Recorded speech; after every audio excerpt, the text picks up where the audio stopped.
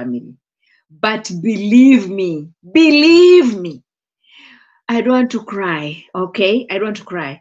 I've never seen a girl, a girl folding their clothes to use them as sanitary pads. I have never seen that in my life. I've never seen that. I've never I've never known are girls out there that look so good and nice and outside here and they're suffering inside. I felt like, oh God, help me. Maybe I should donate something to this girl because honestly, she's suffering. Why would someone do that? I grew up in a village. I went to school in a village.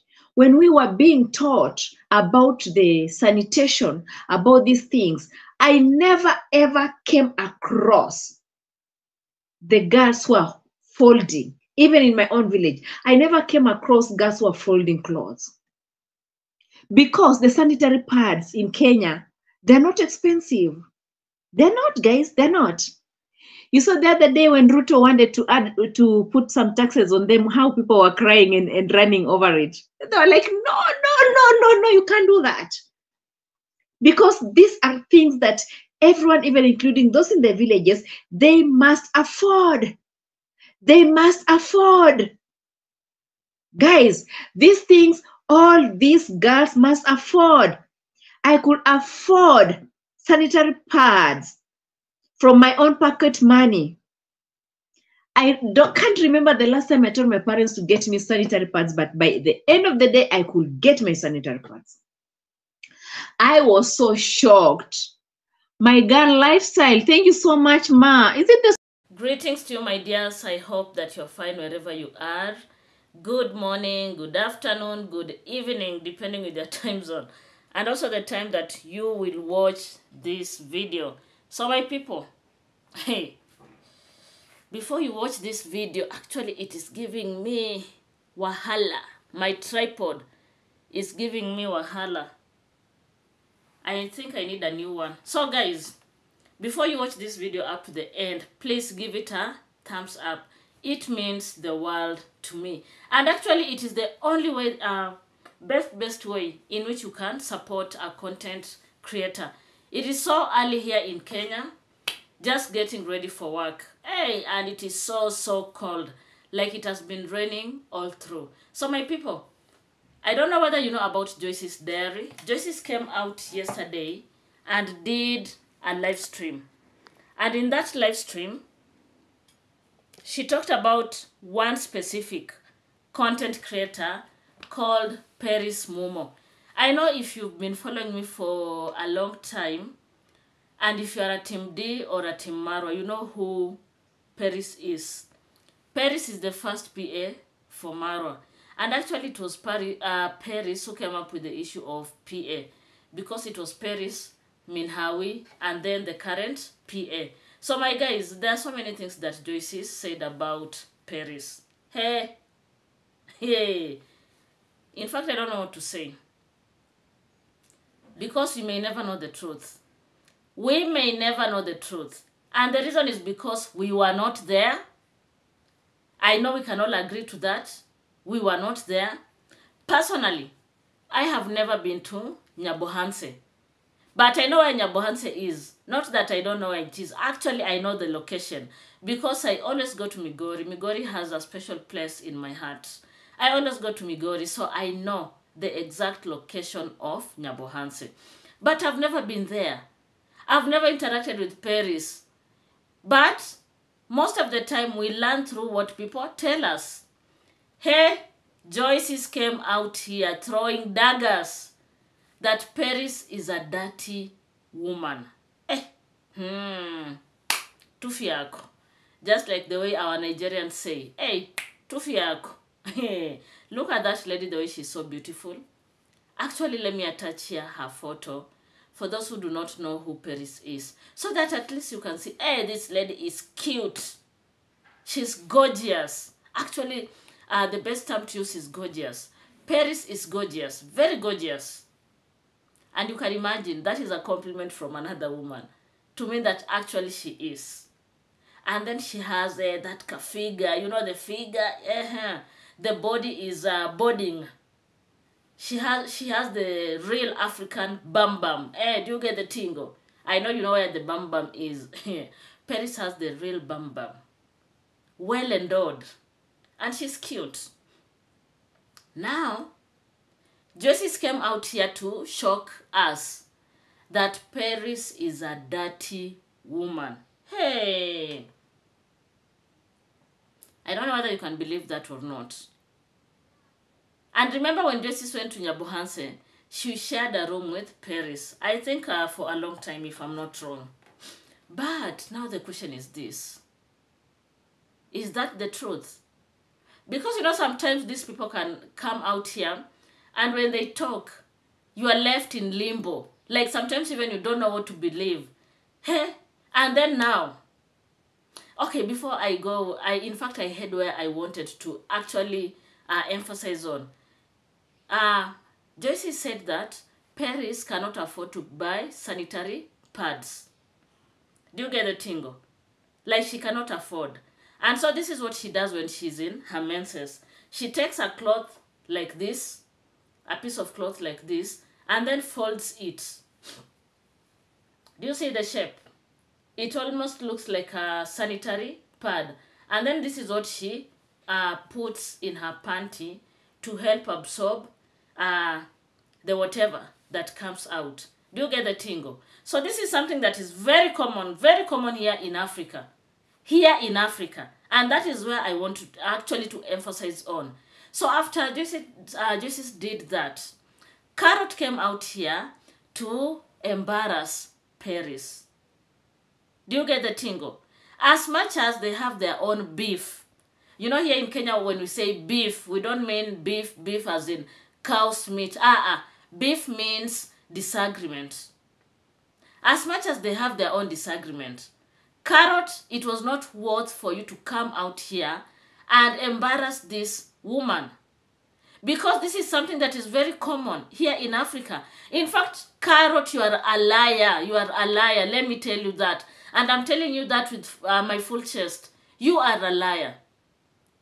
In this 21st century, I have seen so many students who cannot afford sanitary pads. I have seen that.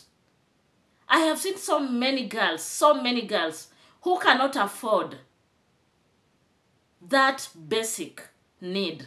And then she comes out here to play with our minds because we are stupid. Are we foolish? That while she was growing up, she never saw girls missing this item. That is lying. Like, why would you lie? Why would you lie? Where do you come from? Does it mean that your whole village? I heard you say you are a kisa. And if you are a kisa, I know where you come from. Somewhere in Khwisero and all those places. Kakamega. Somewhere in Kakamega. My best friend is a kisa. I know where you come from. Karrot. Let me tell you something.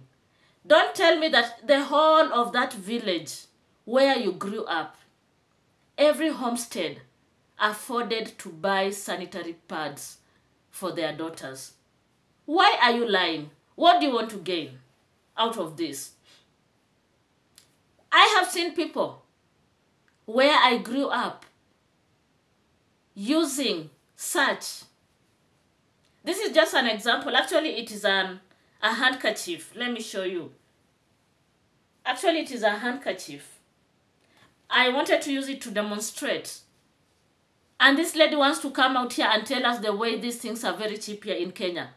They are not cheap to everyone. Cheap is relative. Do you get the tingle? Cheap is relative. What is cheap to me can be very expensive to another person. So there's no way you can go to your audience and tell them that affording sanitary pads in Kenya is something that is so easy. When you go to the shelves, I know you have pads that are as cheap as 30 shillings. But remember, a girl who comes from a very poor family that cannot afford to buy three meals in a day, that even cannot afford to provide breakfast, How can they go to an extent of buying sanitary pads for their daughters? How many times have we seen here in Kenya people having initiatives of distributing sanitary pads to girls in Kenya, in Kenyan schools, primary schools, and high schools? Actually, Karrot, let me tell you about this because I don't know whether it is um, selective amnesia or what is wrong with you. I have seen the government of Kenya, and especially I'm talking about uh, places like in Narok because I worked in Narok for so many years. I saw in Narok the government itself donating sanitary pads to high schools and primary schools in Narok. Why would they do that if these things are, are affordable? Why would they do that? Why would they do that? What are you trying to tell us? As much as you have your own differences with Peris, don't come out here and fool people. I have seen many celebrities here in Kenya having this drive of getting sanitary pads and taking them to, you know, slums, taking them to whatever slums or ghettos, or if you want the garrisons, getting sanitary pads, taking them to schools. And the reason is because we have girls that cannot afford this basic need. So, my guys, don't be fooled. Don't be fooled. And if Peris Mumo, that is what she uh, she was using. That means that she cannot afford to buy sanitary pads. Let me tell you something briefly. If Peris was not able to afford the sanitary pads, it is because of so many reasons.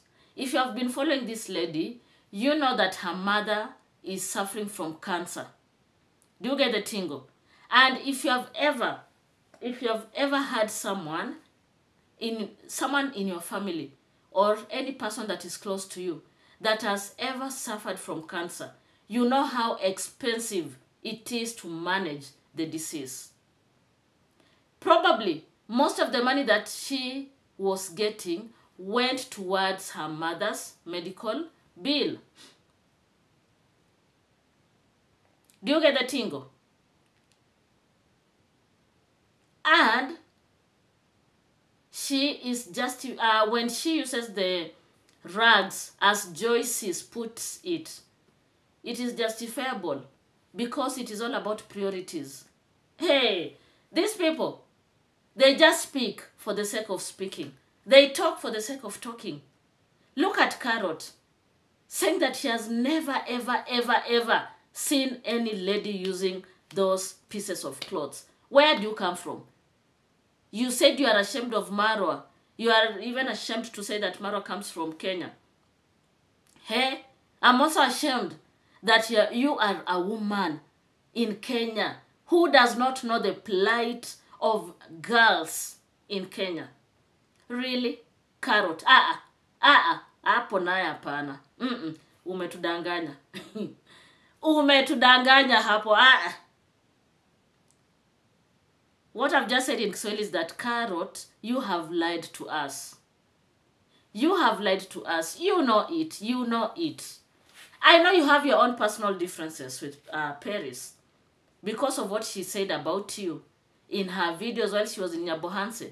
But you cannot uh, just use that issue of sanitary pads as a rubber stamp to embarrass Peris, bearing in mind you know the history about this lady. And then again, what has really made me come out, come out, is you fooling your audience that these are things that are affordable in Kenya. Let me educate you, my dear. We have reusable sanitary pads. Why are they reusable? It is because they are meant for girls that cannot afford to get sanitary pads on a monthly basis. They use the sanitary pads. They uh, let me uh, tell you more about the reusable, uh, reusable sanitary pads. They use them. Then at the end of it, they wash. Do you get the tingle? They wash, they disinfect them, and then they are aired properly, they dry, and then they are stored for the next month. Do you get the tingle? And any person who has common sense, hey, any person who has common sense, you will know that these items are meant for the less fortunate. Actually, if I can afford sanitary pads, I'll just be buying every month. When I have my piece, I'll just be, you know, doing what I'll just be buying. I use, I go dispose them in the latrine, in the pit latrine. Do you get the tingle? So carrots, hey, you will not fool us here. You will not. We are not going to allow you to play with us.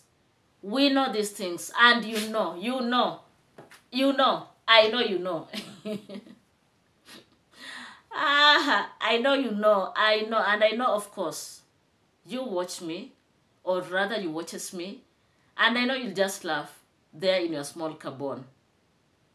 As much as we have differences with people because of what they say, let us just be realistic. Let us just be realistic. People have suffered. Women are suffering here in Kenya. And I just know it is not in Kenya alone, but rather the whole of Africa. And that is why the other day when the government uh, came up with the finance bill, they wanted to increase the prices of sanitary pads in Kenya. And people were up in arms and they were protesting. Not because that they are very cheap. They are already at an average price, but majority of Kenyans cannot afford to buy for their daughters and wives. Do you get the tingle? They can't. So I can talk about this like forever because these are the things that I see like literally on a daily basis. So many girls cannot afford this. So my people, don't be fooled. Eh, don't be fooled. Let her sort her differences with Peris at the periphery. But let her not come here and cheat you that she has never seen. She has. It doesn't mean that where she comes from. I, And actually, it doesn't mean where she is at the moment. Everyone can afford this. Ah, mm, I refuse. I refuse. My people, thank you so much and goodbye for now.